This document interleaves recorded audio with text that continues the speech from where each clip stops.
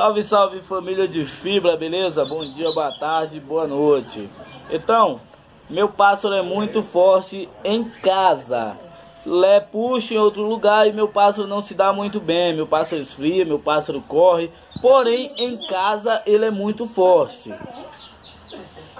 Isso é um problema que muita gente passa, muita gente me vem com essa dúvida. De onde meu pássaro é muito forte em casa, na rua não canta bem. De onde meu pássaro esbagaça no meu prego, no lado de fora. Mas quando eu levo ele para casa do meu amigo, não canta bem. Muitas das vezes até corre. Por que isso acontece, família? Eu vou estar tá deixando claro aqui o porquê isso acontece e o que vocês têm que fazer. Primeiro eu queria falar para vocês que não é porque seu passarinho não presta, porque seu passarinho é mais fraco de fulano de Beltrano. Não beleza? Há uma série de, de, de, de, de fatores que pode, que pode levar seu pássaro a fazer isso, a correr fora de casa. Primeiro deles, primeiro e muito importante, Muitas das vezes, família, o pássaro é aquele pássaro de época. Há muitos, é, principalmente baiano, colheiro nem tanto, mas baiano, são pássaros que normalmente ele escolhe uma época do ano a qual ele está 100%. O restante do ano, mesmo que ele esteja aberto, ele só vai disputar bem em seu território. Por conta da fêmea e do seu território. É normal o animal defender o território qual ele vive. Então ele vai cantar bem lá, fora ele não vai cantar. Muitas das vezes é a época que não chegou o tempo do pássaro.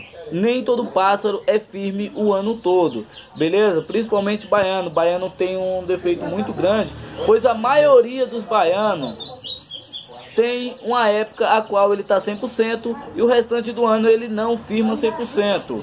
Disputa bem em casa, mas fora não vai estar tá 100%. Isso é um do, do é uma das coisas que pode estar acontecendo. Talvez não esteja no tempo do seu pássaro e você está forçando, você está tentando fazer com que ele, com que ele cante na casa de fulano de Beltrano.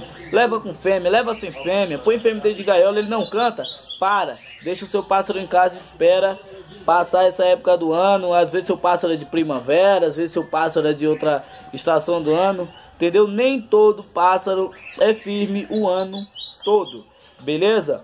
Outro fator muito importante que pode resultar no seu pássaro estar cantando bem em casa e fora ele não esteja cantando bem.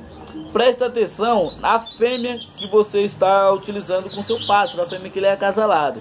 Muitas das vezes a fêmea, quando ela dá sinais que vai aprontar, é normal o pássaro não querer sair de, de perto dela, beleza?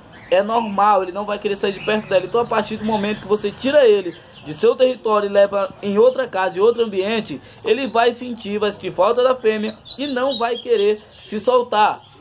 Vai resultar em quê? Vai correr, vai parar, não vai cantar, ou vai brigar muito e não vai soltar canto. Isso é normal, beleza? Então presta atenção na fêmea, beleza? Nem todo pássaro gosta de fêmea pronta, beleza? Nem todo pássaro.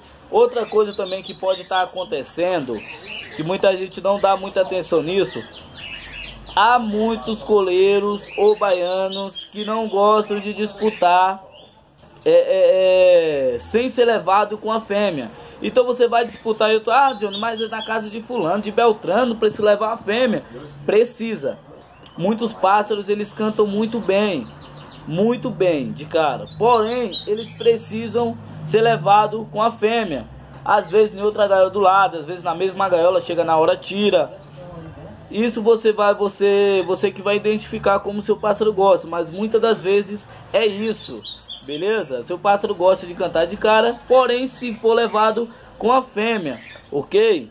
Outra coisa também que muita gente não dá atenção, mas é muito importante, família, é a questão de pássaro ser levado sem capa.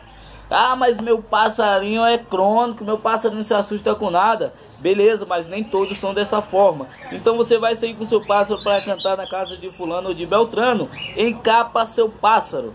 Desencapa na hora, ok? Não leve seu pássaro sem capa. Muitos pássaros vocês podem observar quando você sai com ele. Você coloca dentro do carro que ele passa em alguns ambientes. Ele começa a olhar para cima assim, meio como se estivesse perdido. Aquilo ali ele começa a estranhar, estranhar aquele ambiente. Talvez ele já chegue frio no, no lugar X que você quer levar ele.